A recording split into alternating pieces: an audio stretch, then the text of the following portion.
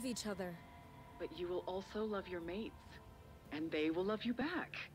Love does not have to be a large fire which consumes everything. You have to build it, you have to keep it alive.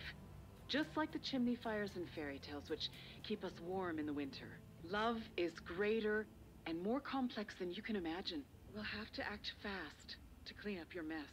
Okay, so the thing about her is she's not necessarily wrong, but she's not necessarily right either. Yeah, love is complex, but just because one particular method of finding love works for certain people doesn't mean that it's going to work for everybody. Yu and Kay are the prime example of this. They don't abide by what the matchmaker thinks. They were still able to establish this strong relationship with one another. And that's kind of the fault in the whole thing of love being complex. Come back and abide by the matchmaker. Is that love comes in all shapes and sizes. And just because the matchmaker sets uh, sets you up with someone that is deemed to be your quote unquote soulmate or your perfect partner does not necessarily mean that that is who you're going to be happy with living with for the rest of your life. There's a lot of different theories and a lot of different conversations about love and whatnot in relationships. And if you want to know like the best prime example in terms of love that is actually genuine and love that is more or less desperate,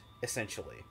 Desperate in the sense of loving anyone because loving nobody is, well, it's depressing. So you'll love anybody. And with that type of mentality, like the cracks will slip. I, I urge anybody who really wants to understand, like, you know, like more of an in depth conversation what I'm talking about, go watch uh, Daniel Sloss's special, Jigsaw. It's actually a very interesting take on relationships and love.